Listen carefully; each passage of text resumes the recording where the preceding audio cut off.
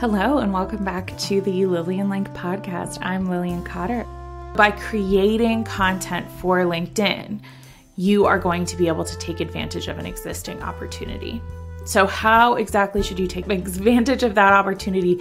What are the ways to create content? How do you make sure you're not those examples of people that you see who you feel are maybe not doing it right? There are a lot of incredibly powerful tools when it comes to making your LinkedIn work for you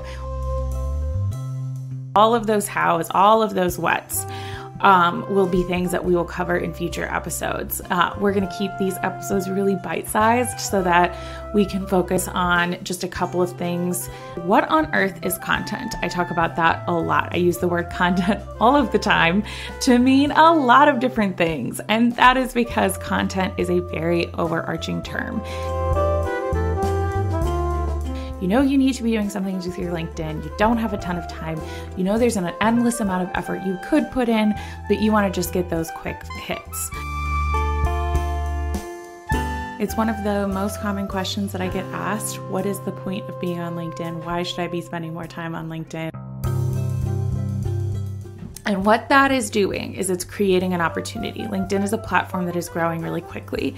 People are choosing to spend more and more of their time on that platform. However, it is not keeping pace, that growth is not keeping pace with the demand for content, with the actual content that is being produced.